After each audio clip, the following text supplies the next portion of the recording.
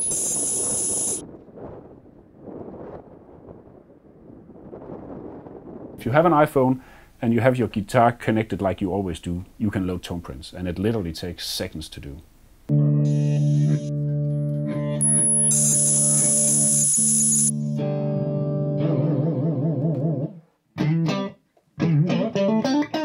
When we decided to do an app, and we talked about that for a long time, we knew that we'd have to be something where you didn't have to buy extra cables or weird Bluetooth adapters or suddenly starting to put Wi-Fi connectors into the pedals or something silly like that.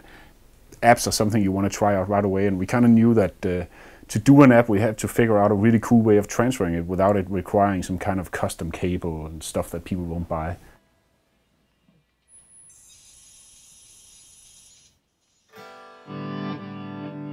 So the entire guitar team, which consists of, of 10 engineers and, and myself, we, we went down to this uh, brewery in Aarhus where they serve giant steaks and homemade beer.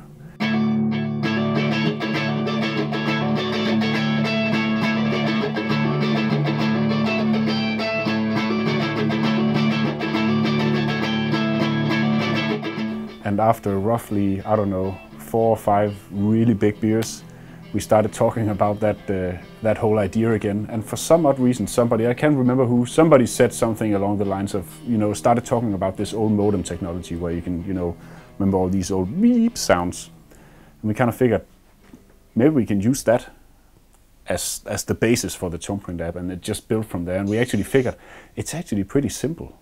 We took a phone, a guitar, and a guitar amplifier and we wanted to test if audio could get through the system. So I take some music, move it over the pickups, and as you can hear, the audio is coming through the amplifier.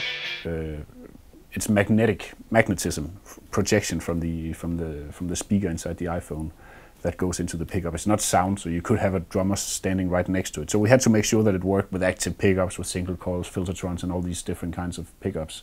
For that purpose, we built this test bench to be able to make comparable measurement on the different type of pickups. Could we have a measurement on the pickup number 8? It's a Fender Tex-Mex. Yes, no problem. I'll transmit the Toneprint while um, while the robot goes down. Great. Downwards. Through again? Yes. Great. So what it does is that it takes the magnetic projection coming out of the speaker and it sends data encoded as audio. So that is weird screechy sound that you hear on your modem, for example. And it sends it through the speaker into the pickup, through the cable, which I don't have plugged in right now, into the pedal.